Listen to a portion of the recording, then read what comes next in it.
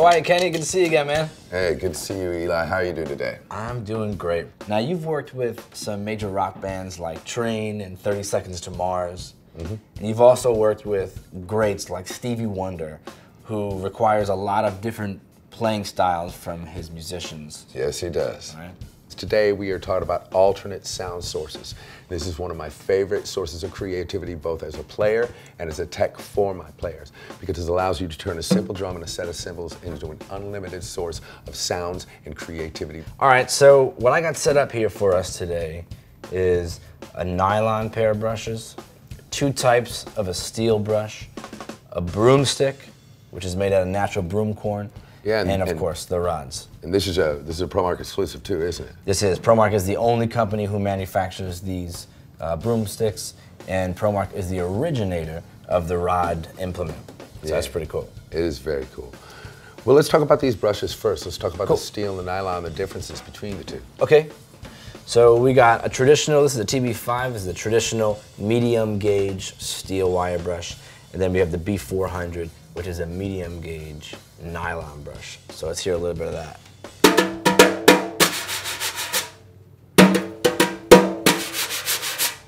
Yeah, that's like a warmer brush. This is like your traditional bright sound. Right. This is a warmer sound, which is, you know, kind of ironic because a lot of my drummers that I work with, when they go into a rock-oriented or a pop-oriented brush playing situation, they'll use this for their cymbal play mm. and they'll use this for the snare drum because it's warmer, it gives you more of a fat backbeat and allows them to integrate both brushes and Right. really apply to an acoustic situation well. You want them to still drive the band, but you need the sounds to match the situation.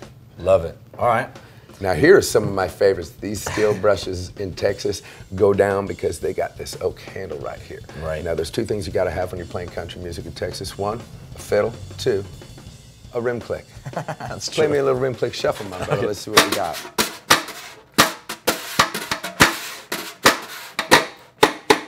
That's huge, man. That oak handle is popping.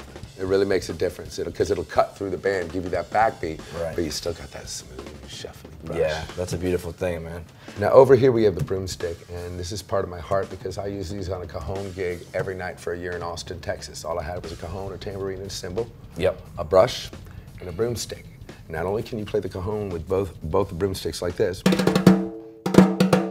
get that warm, fat sound. It's Yeah. a little brushy, a little sticky, almost a little hot roddy, but none of any of those. It's just a warm witch. You know, these are interesting. These are made of natural broom corn. It's a natural product.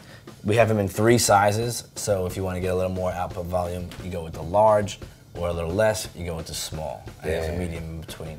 And the beautiful thing is if you go with one of these, you go with one of these, you could turn your cajon into a drum set by using this for your bass kicker, this for your snare kicker, and 16ths rolling on both sides. Let me show you.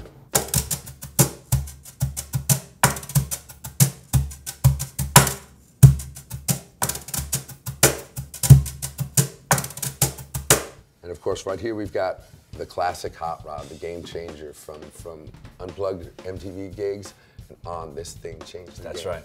And uh, I don't know a drummer I've worked for who doesn't have these in their stick bag. It's true. So ProMark is the originator of these hot rods. These are an excellent implement.